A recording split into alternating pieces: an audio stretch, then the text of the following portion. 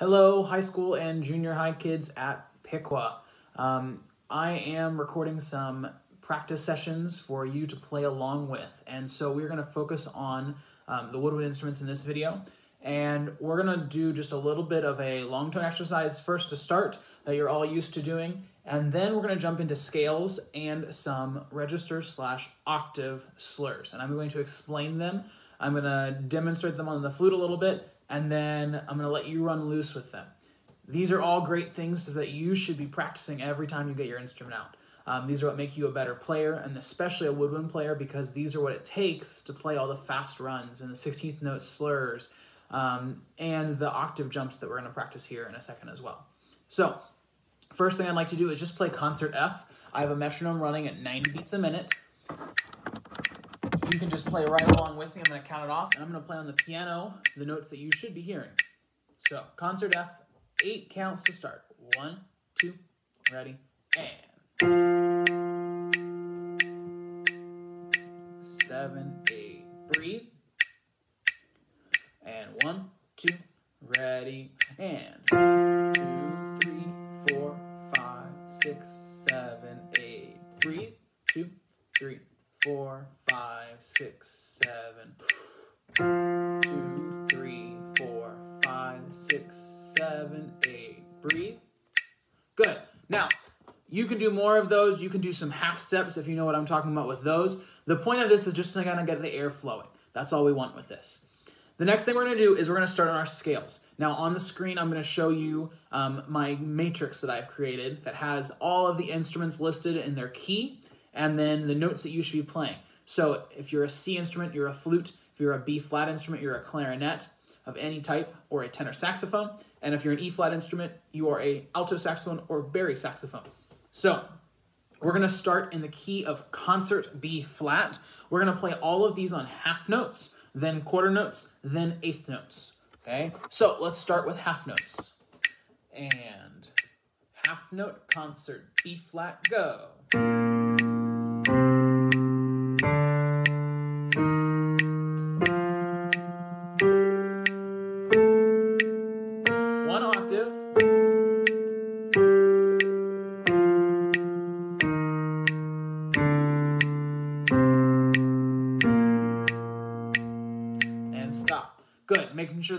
Notes are connected. We're not playing the higher notes louder. We're just playing them the same dynamic level. Let's do a quarter notes. One, two, ready, go.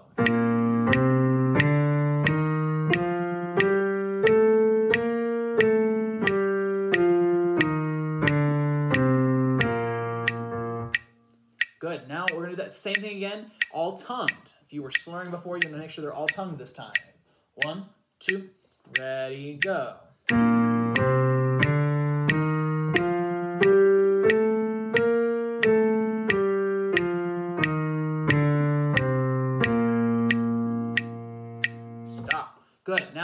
To eighth note. So we're to play quarter note, eighth note pattern like this.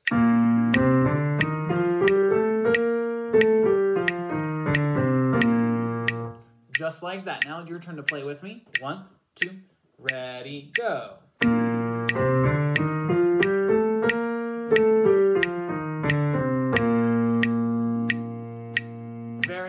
Now, what we can do now is speed up the tempo a little bit, and if you want to play at a faster tempo, the same thing, go for it. If not, skip ahead until we see the next key signature. So we're going to jump, jump the tempo up to 110 beats a minute. We're going to go...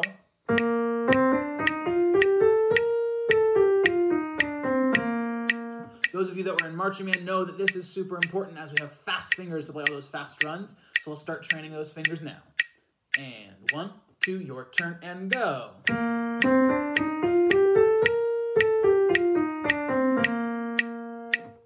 Very nice. Let's do that again. All slurred. And one, two, ready, go.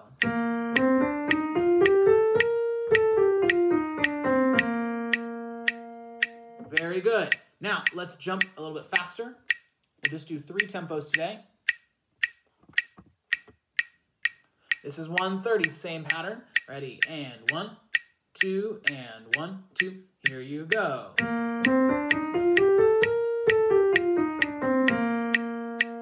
Stop. Now all tongued. If you were slurring before, hopefully, now tongue it. One, two, ready, go.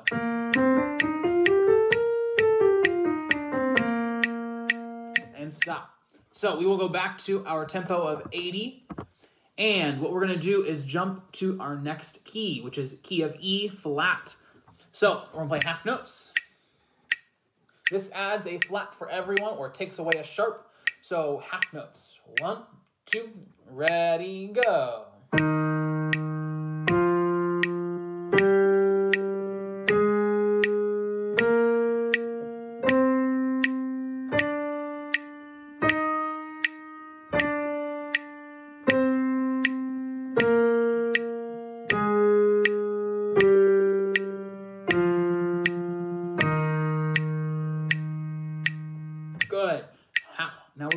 To our quarter notes. One, two, ready, go.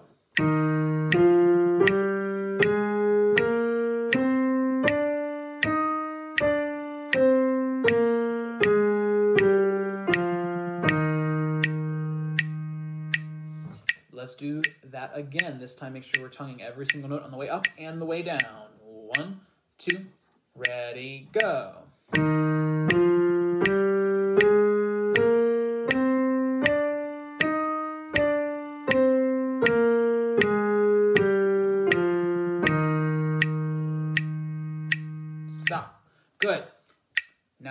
Our note eighth note pattern.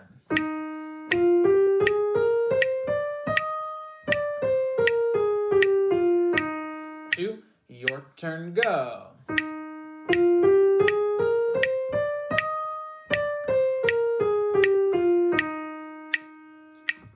Same thing, all slurred. One, two, ready, go.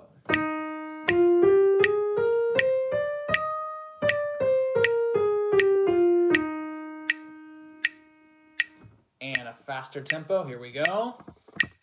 One, two, and one, two, ready, go.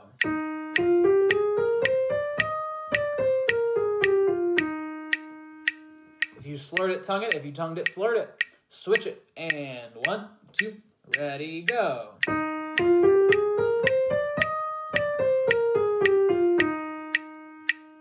Stop. New faster tempo. Now remember, these tempos are all relative. If you're struggling with one, go back and do it as many times as you need. Stop it, put your own metronome on, and work it out. That's the most important part, is practice making sure that you can do, you are setting yourself up for success. If you're not setting yourself up for success, you're actually doing more harm than good. Here we go. Quarter note, eighth note pattern. Fastest tempo we got. And one, two, ready, go.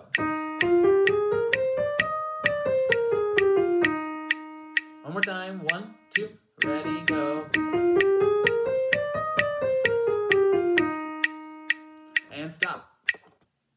Very good. Now, let's go on to our next key, which is going to be the key of F. Okay, we're going to go up um, a whole step to F, but really in our key signatures, we're going back two key signatures around the circle. And we have now one flat for C instruments, and so on for the rest. Take that tempo back to 80. And here we go. F concert half notes. One, two, ready, go.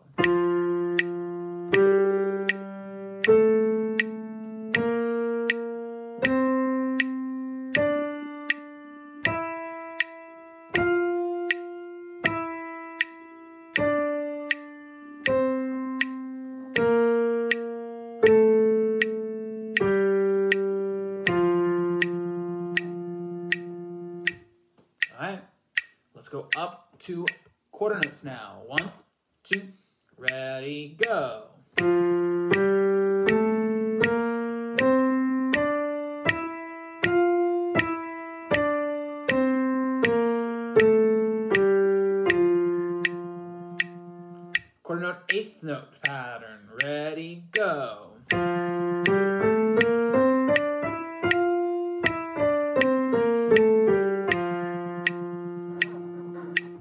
one, two, faster tempo, and a one, two, and a one, two, ready, go.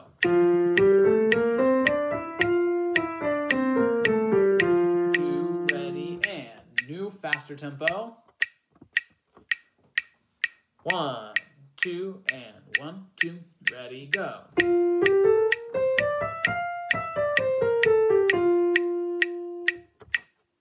Now, let's go to a new key. Okay, this will be our last key for today. If you want to go through more keys and exercises, I will attach the a link to the PowerPoint in the description of this YouTube video, and you can go through that on your own. Um, if you are an eighth grader or a high school student, I recommend that you do at least a couple more of these. It's really just going to help you in the long run. It's not going to hurt you, I promise that. So, back to our original tempo.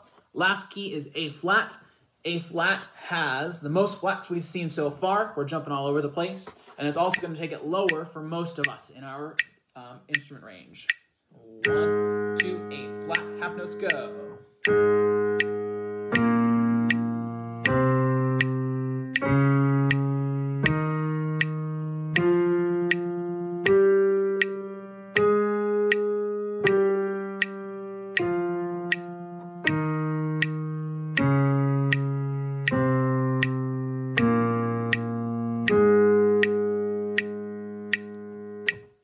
Go to quarter notes. Ready? Two.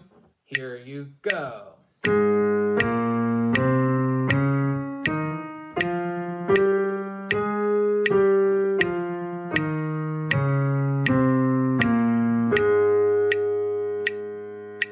Now let's do the quarter note eighth note pattern. One, two, ready, go.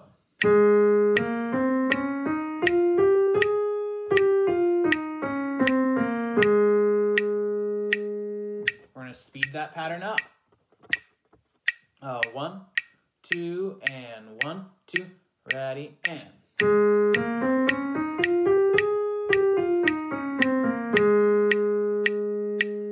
Go faster again, and one, two. Reminder, if this is not working out for you and you are struggling with it, pause the video and do it again, or back up the video and do it again until you get it right. One, two, last tempo two, here you go.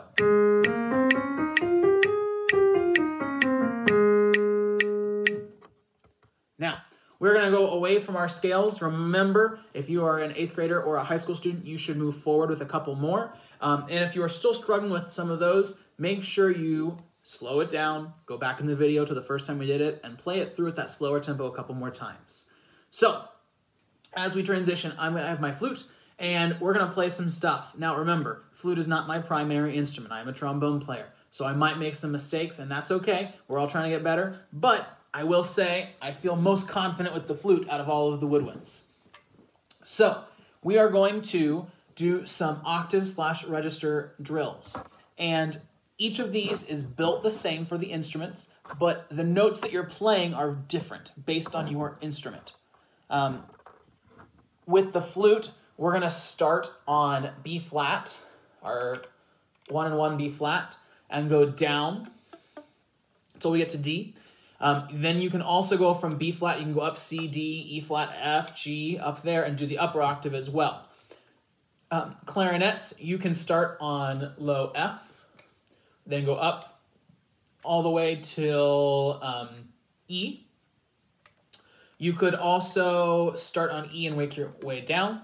Um, and then for those of you that are in high school, you could go on past that and do some other octaves um, drills as long as they're using the register key. Because yours is not an octave, it's just a register. It's going to pop up a different interval. Um, saxophones, you're going to start on B, work your way down. The lower you get, the harder it is to control that bottom note, but the easier it is to actually get up to the next um, register. So you're going to just push on that octave key as well. This is whole notes to start.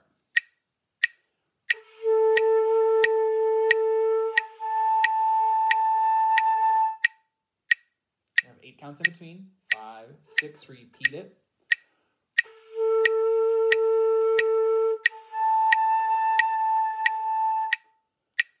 Okay, then you're gonna put those eight counts between and you're gonna go to half notes. Now the goal is to not tongue in between. Half notes.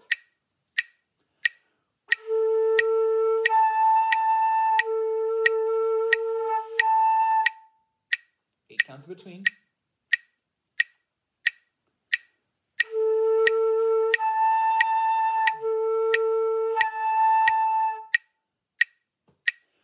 Quarter notes. This is the toughest one.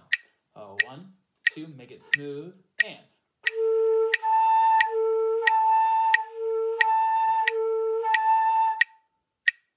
Eight counts between once again. Five, six, seven.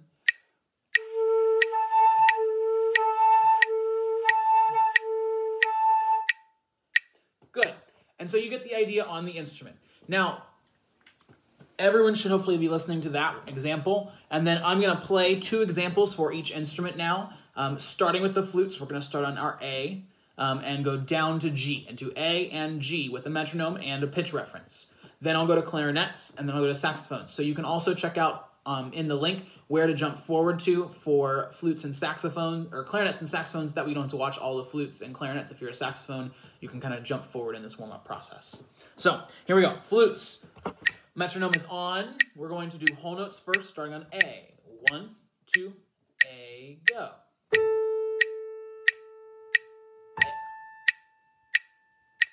Good. Eight counts in between. Make sure that we really have a nice consistent airstream. Ready and go.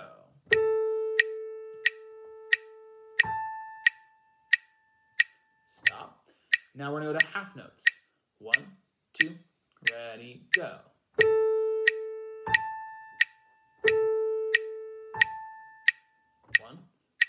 Two, and one, two, ready, and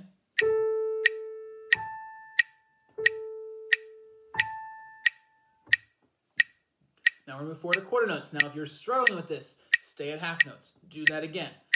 And quarter notes. Two, ready, go.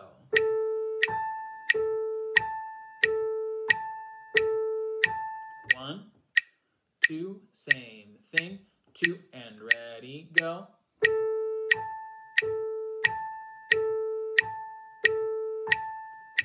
Very nice. Flutes, we're gonna go to G now.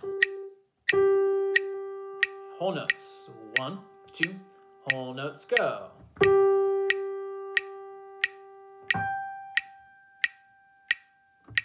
Eight counts in between. Make them smooth. Use that air speed to make the note change. Ready, two, here you go.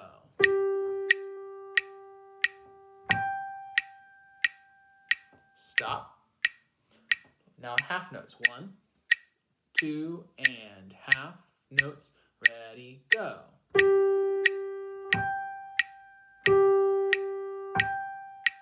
One, two, same thing. Make a quick transition. Ready, go.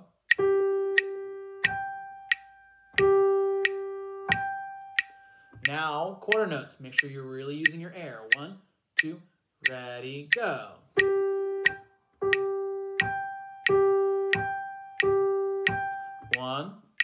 Two, same thing. One, two, ready, go.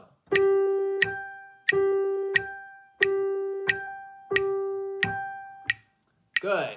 Now, that is it for you flutes with me, but I want you to keep playing more of those. Go down to F, go down to E, then you can go back up to B flat, or C, or D, or E flat, and get into the really high octave register. It's the same thing, it just takes more control and more energy through the um, aperture of our lips to get up to those high notes.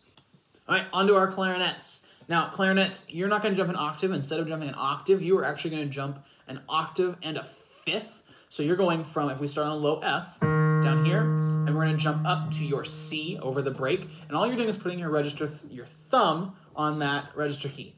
Okay, so you're jumping from here to here.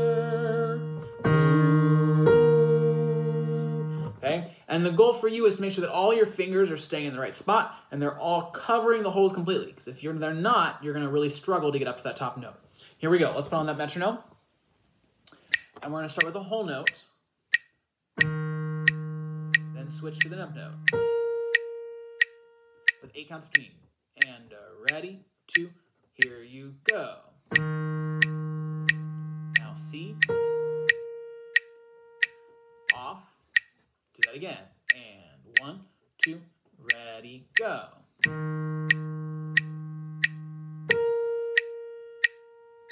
Stop. Good. Now let's go on to half notes. One, two, make it faster, go.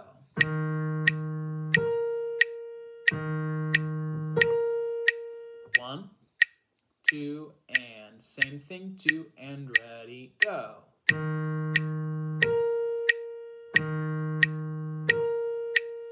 A quarter notes. Now you to really make sure everything's staying in place and you're letting all your embouchure nice and stay firm, but relaxed in order to switch between the two notes. And one, two, ready, go.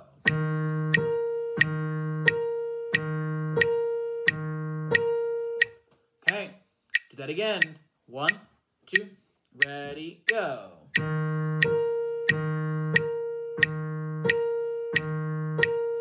Now let's switch it up to a new note. We're gonna go back to the whole note, but now we're gonna play low G. We're gonna play high D. Whole notes, two, ready, go. Three, and up. And one, two, eight counts between. One, two, ready, go.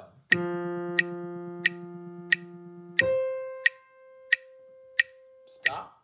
Now let's put half notes. And one, two, ready, go.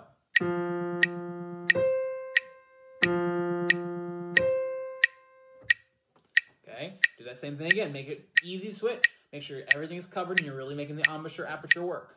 And one, two, ready, go.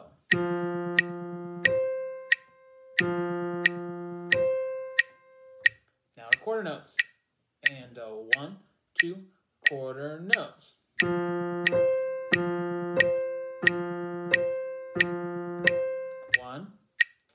Make it smooth. Don't make there be breaks in our sounds. Ready? Two, here we go.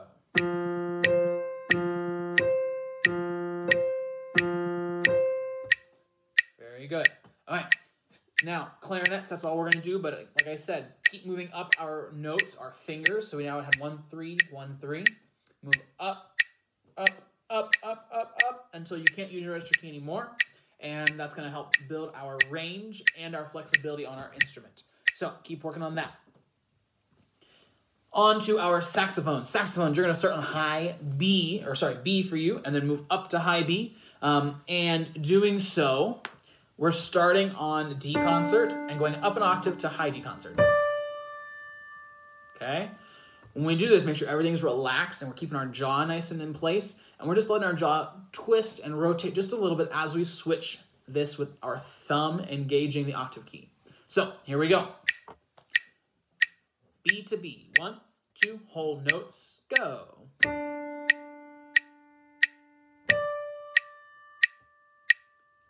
Good. Now we're just going up, so this part's easy, but make sure we understand how it works. Ready, go.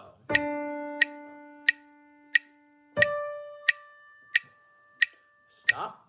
All right, now we're going to go to half notes. We're making it go back down. We have to make sure we're relaxing to get back to our beat. We don't want to hear this top note over and over again as we play. One, two, ready, go.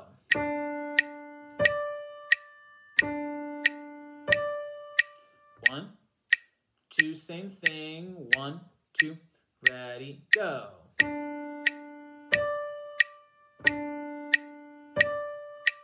Good. Now let's move on to quarter notes. One, two, quarter notes, and go.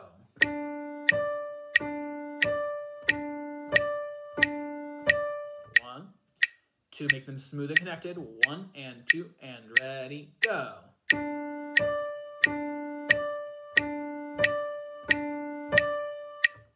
Very good. All right, let's move down to A concert. Okay, sorry, not A concert, your A, which is C. Here we go. One, two, and one, two, ready, go. Two,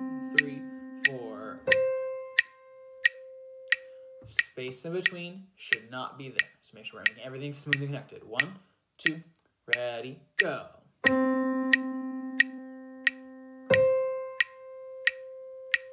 One, two half notes now. One and two and ready, go.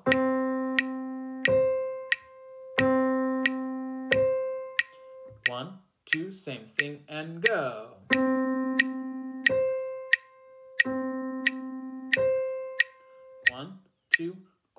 notes.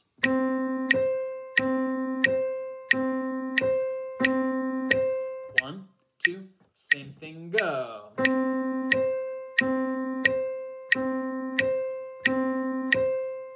Now, like I said to the other instruments, keep going through this. Make sure we do not just stop there. You want to continue, go down our fingers all the way down to low D um, and get that octave transition happening as well.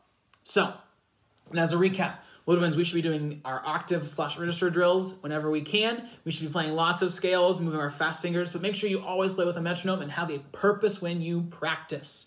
Okay? Um, little throw out there for you. If anyone here is interested in private lessons, um, one of my band director friends is giving private lessons. He is a saxophone player, so um, it would benefit all of our saxophone students to take lessons from him. He is charging $5 per half hour of the lesson, um, and that is a great rate for lessons. He's doing them all through Zoom, um, and you should totally take advantage of that. So until next time, until next warm up, keep practicing um, and enjoy music.